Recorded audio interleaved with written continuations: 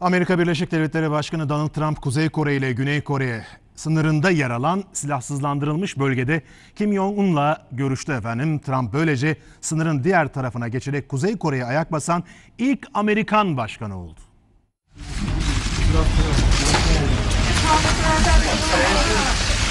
Kuzey Kore toprağına ayak basan ilk Amerikan başkanı oldu. G20 zirvesi kapsamında Japonya'da bulunan Trump, Kuzey Kore lideri Kim Jong-un'a Twitter üzerinden görüşme teklifinde bulunmuştu. Buluşmaya olumlu yanıt geldi ve işte o görüşme böyle gerçekleşti. Trump ve Kim Jong-un silahsızlandırılmış bölgede bir araya geldi ikili el sıkıştı. Ardından da Amerikan başkanı kısa süreliğine sınırı geçerek Kuzey Kore'ye ayak bastı. Bu durum dünya açısından da bir ilkti.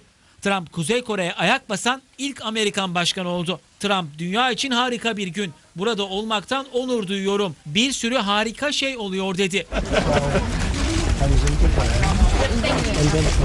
Kuzey Kore lideri ise Trump'ı başkente de davet etti. Onur duyarız dedi. İkili arasında basına kapalı bir görüşme de gerçekleşti. Amerikan Başkanı Trump'la Kuzey Kore lideri Kim Jong-un ilk kez 12 Haziran 2018'de Singapur'da yapılan tarihi zirvede bir araya gelmiş. Burada Kore Yarımadası'nın nükleer silahlardan arındırılması ve kalıcı barış konusunda mutabakata varılmıştı. İki lider 26-27 Şubat 2019'da Vietnam'ın başkenti Hanoi'de bir kez daha bir araya gelmiş.